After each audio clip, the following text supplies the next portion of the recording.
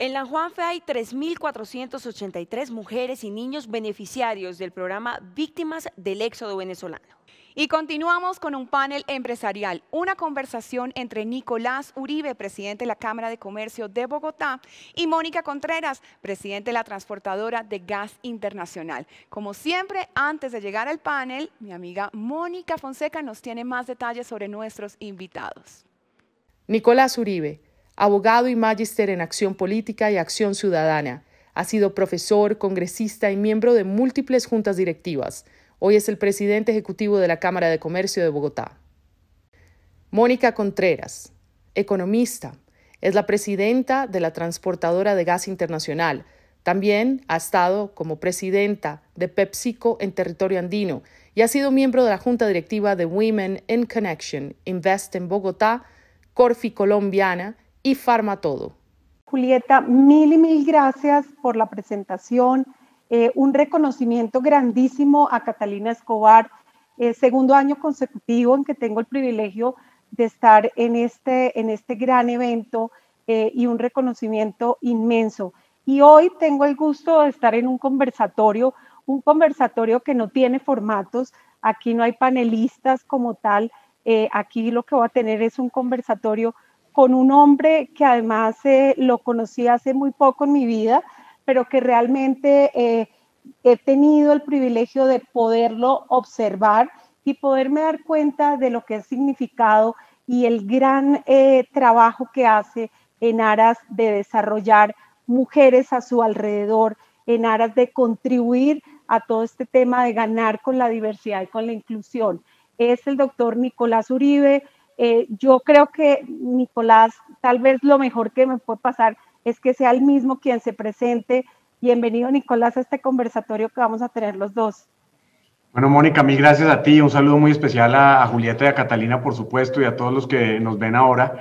Gracias por la invitación. Para mí, la verdad, es un enorme placer estar aquí y una oportunidad también para aprender, porque yo creo que parte de todo esto parte precisamente de, de la capacidad que tengamos de aprender y de reaprender eh, alrededor de, de, lo que hemos visto y lo que estamos viendo en el entorno. Eh, yo me presento, yo soy Nicolás Uribe, mm, desde hace un año y un par de meses soy el presidente de la Cámara de Comercio de Bogotá. Eh, antes de eso tuve una empresa de consultoría durante 10 años y antes de eso fui parlamentario, consejero presidencial y me dediqué a los temas de la vida pública. Algo de radio también hice durante cerca de 8 años y es uno de los temas que también me encanta hacer y desde hace un año y un par de meses estoy en la Cámara de Comercio trabajando para promover eh, la reactivación económica de las empresas y en esta pandemia tratar de contribuir desde una posición de privilegio en la recuperación de la economía. Eh, ese es un poco el, contexto desde el cual hablo hoy y a Mónica, como decíamos, la, la conocí hace mm, tal vez un año larguito en donde la invité a que hiciera parte de una de nuestras juntas directivas de una de nuestras filiales de Investing Bogotá y la verdad que ha sido una tarea excepcional la que hemos venido desarrollando desde allá. Pero sería interesante, Mónica, que tú también eh, les cuentes a, todos en qué andas ahora, porque también has tenido transformación laboral en los últimos meses. Sí, así es, eh, Nicolás, mil gracias. Pues efectivamente, soy Mónica Contreras, soy colombiana, soy, como bien saben, madre, esposa, hija, soy mujer antes que nada. Em, efectivamente, a partir de octubre del año pasado me incorporé como presidenta de la transportadora de gas internacional, filial del Grupo de Energía, eh, donde estoy eh, desempeñándome como presidenta de esta entidad. Y eh, previamente trabajé 21 años con Pepsi. durante los ocho últimos años fui la presidenta de PepsiCo para todo lo que era el territorio andina, andino responsable de los mercados de Colombia, Perú, Ecuador y Bolivia, y una convencida, eh, Nicolás, en los últimos años de lo que ha sido el trabajo de apoyar a otras mujeres. Este, yo he tenido el privilegio de poder crecer en este ambiente eh, donde digo yo que somos pocas las privilegiadas, con muchas enseñanzas, pero hoy que tengo este privilegio, digo que el mejor legado que me puede pasar en la vida es apoyar a otras mujeres entendiendo mujeres que apoyamos a otras mujeres sabemos que hay espacio para todos. Entonces, pues eh, como bien decía Nicolás, eh, también formo parte de un grupo de juntas directivas y dentro de esas tengo el privilegio de trabajar con Nicolás eh, él como presidente y yo como miembro de la Junta, en la Junta de Investing Bogotá, donde tenemos desafíos importantes que hemos vivido en estos últimos años y que no han sido eh, menores como le ha pasado a toda la industria y a todas las empresas, no solamente en Colombia, sino a lo largo del mundo. En esa observación, Nicolás, que, que yo, yo he tenido el placer de poderte conocer, he encontrado un interés genuino tuyo en apoyar mujeres en juntas directivas. Cuando miro incluso tu equipo directivo, me encanta saber que estás rodeado de mujeres maravillosas. Eh, y seguramente veo ahí detrás unas fotos de familia que también empiezan a hablarme mucho de que seguramente también tienes hijas eh, y que, y que eh, encuentro que hay mucha inspiración en lo que haces. Y yo digo, ¿cómo encontrarnos más, Nicolás, en la vida de las mujeres? cómo encontrarnos más Nicoláses eh, creyentes de que vale la pena este ejercicio. Cuéntame, Nicolás, ¿qué te ha llevado a que realmente creas en el tema, en la relevancia que aportan las mujeres a tu alrededor, no solamente en tu mundo familiar, sino en este mundo laboral y en ser un aliado tan importante en ayudarnos a abrir espacio. Creo que es importante tu voz para tantos hombres que requerimos en este trabajo de, seguir ganando con la diversidad y la inclusión femenina? Pues la verdad, eh, Mónica, yo creo que esto es un proceso de aprendizaje constante. Eh, yo he estado en un mundo donde la profesión que decidí desde que era muy chiquito era bastante hostil y particularmente hostil para las mujeres, por supuesto. La vida, por ejemplo, en la política para las mujeres es sin duda muy dura. Eh, por lo que significa hacer una campaña, por lo que significa estar, por ejemplo, en una corporación pública, por lo que significa enfrentarse a, los retos de fuerza que muchas veces se sostienen en este tipo de escenarios. Eh, y luego en el tema de radio igual, porque yo participé de un programa en donde, pues básicamente, pues eh, teníamos argumentaciones permanentes, cuatro horas al día durante ocho o siete días a la semana. Yo decía que casi que llegaba mansito a la casa porque peleaba lo suficiente por fuera. Eh, y después en decisiones y en, posiciones de responsabilidad como esta se da cuenta uno que efectivamente lo que necesita es construir eh, equipos que tengan suficientes perspectivas, que tengan la diversidad que se necesita para, para tener aproximaciones constructivas frente a las realidades. Y a partir de eso se da cuenta que uno no le hace ningún favor a las mujeres cuando las invita a participar, sino que se hace uno un favor a uno mismo. Es decir, uno encuentra en atributos masculinos una serie de virtudes importantes y en atributos femeninos otros tipos de virtudes importantes. Como tú bien lo dices, aquí nosotros tenemos un equipo directivo de cerca de 25 personas en donde el 56% son mujeres y en cargos que son particularmente interesantes. Por ejemplo, nuestra vicepresidenta de tecnología es una mujer, la contralora de la Cámara de Comercio es una mujer, la vicepresidenta ejecutiva es eh, una mujer y de esa manera tenemos eh, gente que eh, hace parte de un equipo y que participa en decisiones y que toma, y que toma parte de las transformaciones que estamos haciendo aquí en la Cámara. En mi casa, pues eh, a mí me ha tocado ser, como a todos durante esta pandemia, papá, mamá, hijo, hermano, de todo. Yo tengo tres hijos chiquitos de 10, 8 y 6 años y durante la pandemia estuvimos encerrados. Mi mujer trabaja, tiene una empresa de catering mexicano y la verdad es ambos a desaprender lo que creíamos que era normal. Y además mi mujer es de origen mexicano.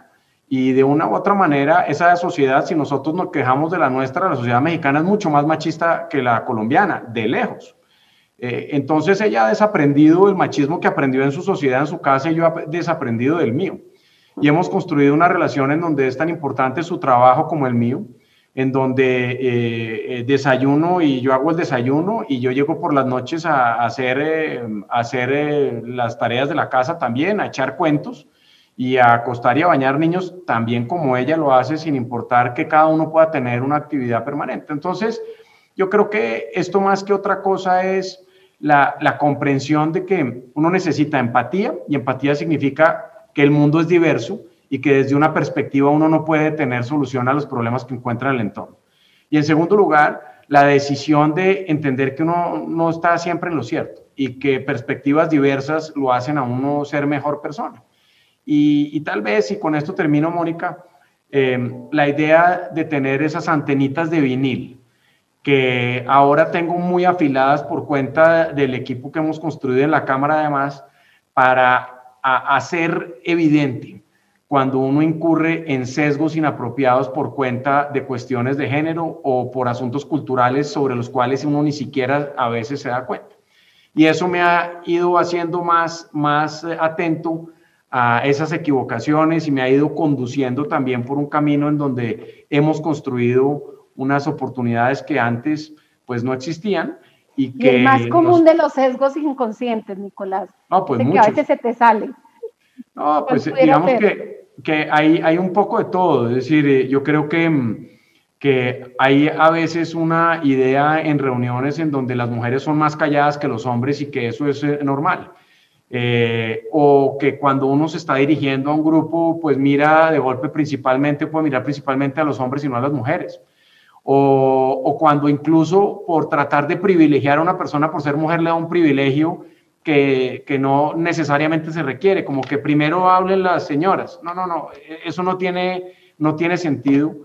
Eh, y por supuesto, en la pandemia aprendimos una cosa muy importante, yo creo que todos, y es que todos al desempeñar con mayor, con mayor insistencia esta economía de cuidado, pues hizo que fuéramos mucho más sensibles a respetar y a construir escenarios en donde nos guste o no, hoy la realidad es que las mujeres desempeñan más tareas en sus hogares y que desde esa perspectiva tocaba acomodarse a eso porque entendíamos todos mucho mejor el esfuerzo y la dificultad que significaba eh, encargarse del trabajo, pero además de todas las labores de la casa en una situación de alta presión como la que estuvimos todos viviendo con ocasión de la pandemia.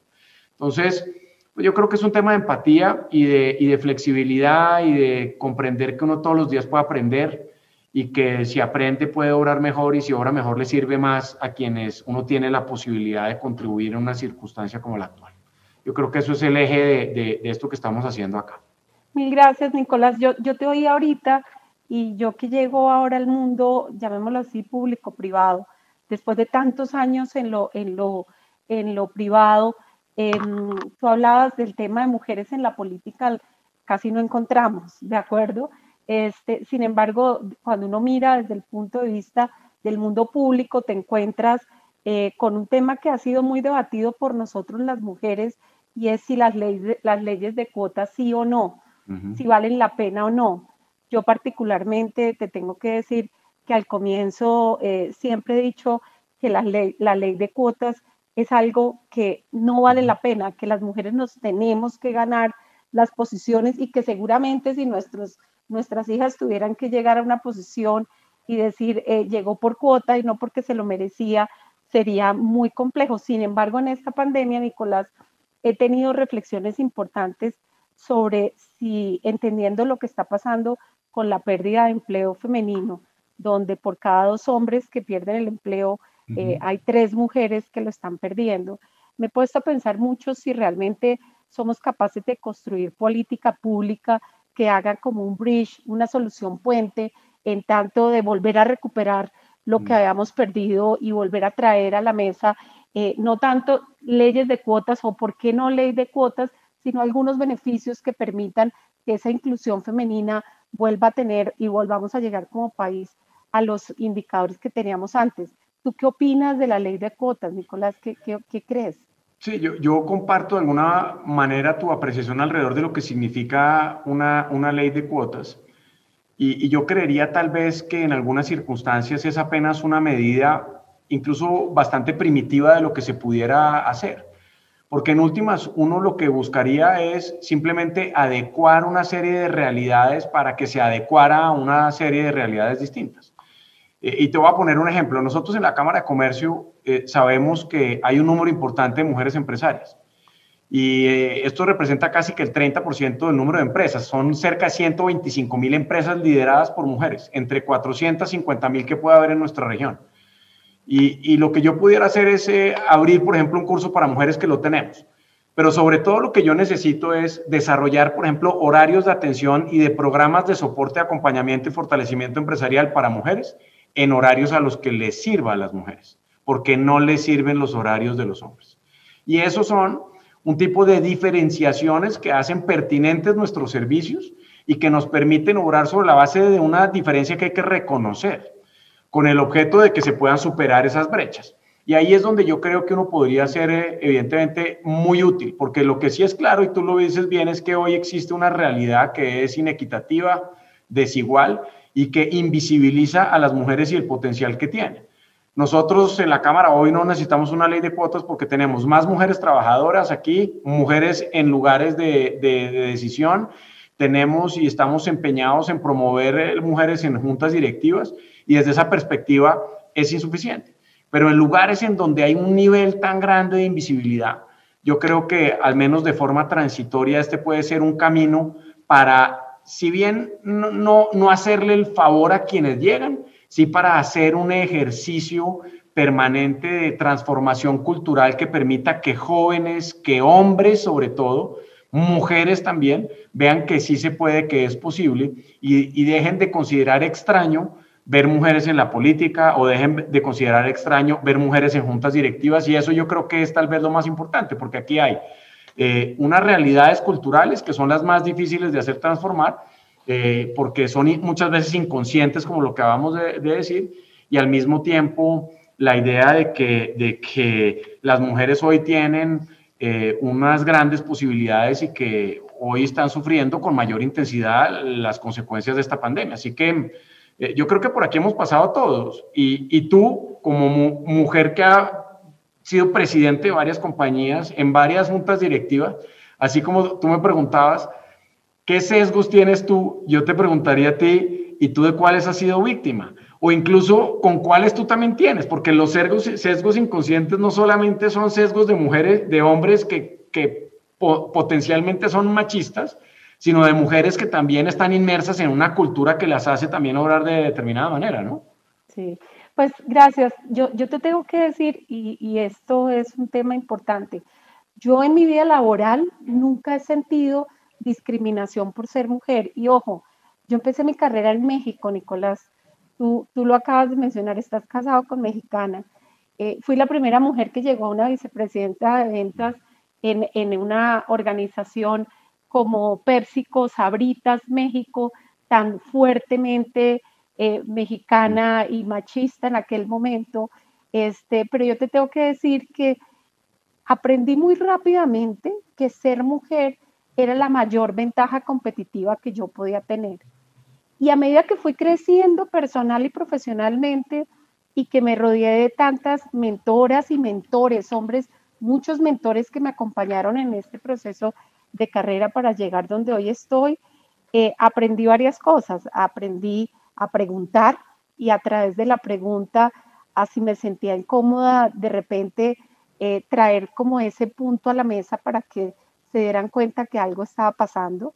Entonces, trabajar desde la pregunta era importante, pero nunca he sentido eh, ni sentí a lo largo de mi carrera discriminación alguna y creo que eso para mí ha sido sustantivo y he aprendido que así como ustedes, eh, desde sus masculinidades que tienen que tener y yo desde las feminidades que cada uno tenemos que tener, que para mí ser mujer es la mayor ventaja competitiva porque el, el hecho de ser mujer hace que tú tengas como unas habilidades y unos skills que a veces los negocios necesitan. Estamos hablando de empatía.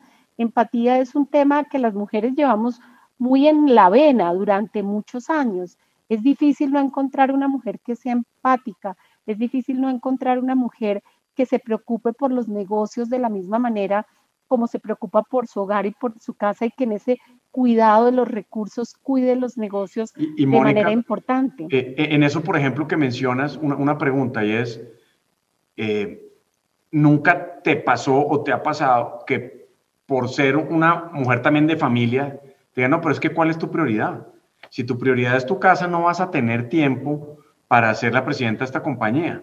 Entonces, ¿por qué no te quedas donde yo estás? No fui buena, yo no fui buena en mis comienzos de carrera, te tengo que decir, con el balance de vida-trabajo. Yo conté con el privilegio de tener un marido que me apoyó y una familia que me apoyó para yo andar 7 por 24 montada en un avión, viajando y demás, hasta que dije, bueno, yo tengo que, em, empezó todo este tema de flexibilidades y de balance de vida y tomé conciencia del tema pero al principio mi carrera realmente eh, no fui buena en eso, sacrifiqué mucho, pero siempre, nunca viví con culpa y creo que eso fue muy importante. porque como siempre sentía que estaba presente en las cosas donde tenía que estar como madre o como esposa, o que si no estaba yo, mi familia me estaba apoyando, mi marido gran apoyador, y fue una conversación desde muy temprana edad con mis hijos, que hoy en día pues ya son grandes, pero que me apoyaron. pero sí te tengo que decir que hoy, en el mundo actual, las organizaciones todas, tú lo sabes, Nicolás, hemos generado espacios de flexibilidad, hemos generado unas culturas completamente distintas y eso para las mujeres, como lo es para los hombres, es un gran beneficio que tenemos para que definitivamente unos y otros podamos crecer y podamos ganar con esa diversidad y esa inclusión que se requiere. Yo sí soy una convencida de que eh, ganar con unos y otros es sustantivo. Entonces, eso es lo que te puedo decir eh, un poco desde, desde esa experiencia y me da mucho gusto cuando te oigo porque en esta pandemia yo creo que las nuevas masculinidades han salido a la orden del día de todos, de acuerdo, y lo que nos tenemos que asegurar es que ojalá las mujeres no nos equivoquemos en fomentar las nuevas masculinidades, porque a veces nos equivocamos, Nicolás. A veces nosotros las mujeres cuando decimos, yo me acuerdo, mi mamá siempre me dijo algo que yo le, le digo a todas las mujeres y es, si tu marido le está cambiando el pañal al hijo, así le haya quedado mal, tú le vas a decir que te quedó divino, porque el día que le digas que te quedó mal, nunca más te lo vuelve a cambiar. Entonces tú misma estás creando algo que realmente es contra lo cual tú no quieres que siga pasando. Yo creo que las mujeres en eso tenemos que ser cuidadosas de cómo abrimos espacio para que realmente ese balance y esas masculinidades que se requieren en muchos de los temas, trabajando en otras cosas, lleguen a la mesa y no hacer esos sesgos inconscientes de los que tú me estabas preguntando. Sí, pero, pero es un tema que yo, yo creo que recogiendo mucho lo que tú dices, es un tema, es un tema casi que de, de, cultura, con personalidad, con un entorno adecuado para que las cosas funcionen. Sí, eh, a mi mujer se le quitó lo de machista muy rápido y obviamente a mí también me tocó meterme más de lleno de entrada. Y eso hace que tengamos hoy una relación muy equivalente en términos familiares, por ejemplo, en materia de cuidado de los hijos, de, de, lo que significa la economía de cuidado, pues pero al mismo tiempo con una perspectiva en donde básicamente lo que uno necesita es, y tú lo mencionas muy bien, el tema de empatía. Y la empatía solamente se construye desde la, en la medida en que tú tengas la capacidad de ponerte en los zapatos de los demás desde su situación particular. Y el mundo es un mundo con una diversidad amplia de experiencias distintas, no solamente de género, sino de extracción social, de cultura regional, de experiencia profesional. Y eso es en última lo que nos, yo creo que nos educa también a, a, desaprender paradigmas culturales en donde nacimos y nos amplía las posibilidades de construir en donde la mujer claramente tiene un papel protagónico, no por cuota, sino porque si no lo tuviera, pues no pudiera uno tener eh, el acceso y el alcance que puede tener si lo hace. Es decir, eso es un, como una película, no me acuerdo cuál que decía, era medio chistosa, que dice Help me, help you. Déjame ayudarte. Es decir, y uno para ayudarse a sí mismo necesita que mujeres lo ayuden, que personas de otras regiones lo ayuden, de otras culturas lo ayuden y de esa manera construir una unidad al servicio del propósito que se define. Bueno, Nicolás, y si hubieras sido mujer, ¿qué hubieras querido? ¿Qué, qué, qué, qué sueñas? O sea, si te pones en el plan de las mujeres de hoy en día, tú dices, yo hubiera querido ser una mujer y ser reconocido, reconocida por qué. Pues no, no, la, déjame, me, me, la pusiste difícil, nunca se me había ocurrido, nunca se me había ocurrido esa, esa pregunta. Pero tal vez lo que yo quisiera hacer es eh, exactamente lo que hago ahora, y es que no tengo restricción alguna para hacer lo que quisiera hacer o, lo que he sido. Porque cuando quise hacer política, hice política, cuando perdí en la política decidí dedicarme a las empresas, me dediqué a eso. Cuando quise eh, mm, hacer deporte de uno o de otro, me dediqué a hacerlo. Y eso es tal vez lo que, lo que yo veo y lo que transmito a mis hijos. En últimas, yo tengo hoy tres hijos, dos niñas y un, y un niño. Eh, y están los tres chinos en clase de fútbol, los tres, y si quieren, bien. Y si después eh, quieren hacer otra cosa de baile, pues también. Y es una, una relación bastante equilibrada en términos de, de, rescatar y de inculcar la idea de que uno, en últimas, puede hacer lo que quiera, lo que quiera, sin importar si es hombre o mujer. Y yo creo que ahí es donde está la clave. Así que yo te contestaría, yo tal vez quisiera hacer lo mismo que estoy haciendo si fuera mujer, y es poder obrar sin restricción en virtud de, consideraciones de género o de origen o de estirpe o de condición. Mil gracias, Nicolás. Yo creo que de verdad miles, miles de enseñanzas para, para todo este auditorio que está aquí escuchándonos. Para mí, de verdad, te reitero el agradecimiento de, de contar contigo como aliados, aliado fundamental en esta jornada. Eh, somos muchas las mujeres que valoramos los esfuerzos que hombres como tú están haciendo y también somos muchas las que tenemos que seguir abriendo paso para que la siguiente generación de mujeres encuentren un terreno cultivado donde todos en esta sociedad quepamos y donde ganemos eh, con un país y una sociedad mucho más diversa, mucho más incluyente y que podamos seguir prosperando juntos. Mil y mil gracias por este espacio. No, Mónica, gracias a ti. Y una cosa que me parece muy importante y tiene que ver contigo y tiene que ver con todos, y es nosotros necesitamos promotoras como tú hablándonos con franqueza, porque para nosotros tampoco es fácil. Es decir, uno tiene que aprender de lo que ustedes hacen y de lo que dicen y cómo lo corrigen a uno en privado y en público a veces. Entonces no dejen de hacerlo, que eso nos ayuda mucho a nosotros. Viceversa, viceversa. Muchísimas gracias. Un abrazo grande.